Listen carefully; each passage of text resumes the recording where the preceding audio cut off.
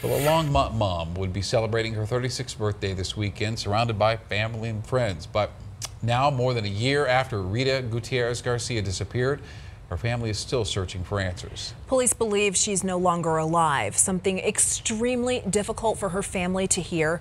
But tonight, they're finding a way to honor her. As Liz Gelardi shows us, a police detective's ideas giving them comfort as they continue their search.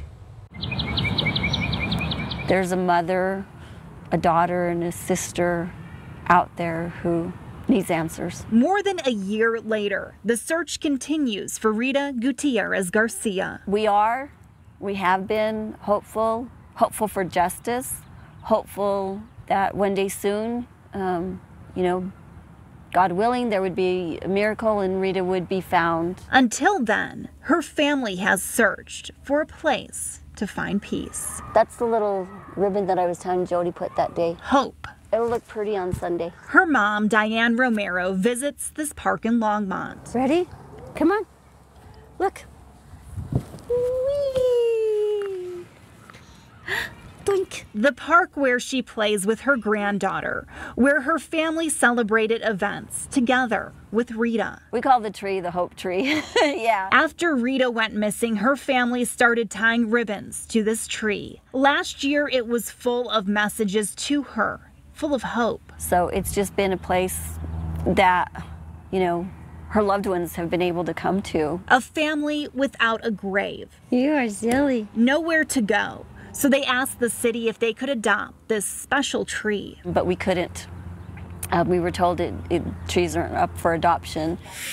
Then they mentioned it to the detective working Rita's case. He just came up with the thought of the idea of a bench and when he brought it to us we're just like oh yeah that would be so great and he started a GoFundMe and like in just a matter of a couple of days you know we had the money to do it. A bench with Rita's name is now at Thompson Park right across from the tree they wanted to adopt. It says in loving memory of Rita Gutierrez Garcia. Her family plans to dedicate the new bench on her birthday, April 7th. Rita liked parties.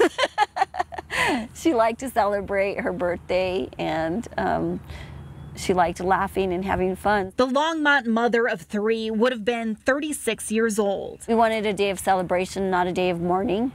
Um, we're going to celebrate her life. And now a place to celebrate, honor, remember, a place of peace. For right now, it'll be our memory bench or a place to come and sit and, and be able to speak to her.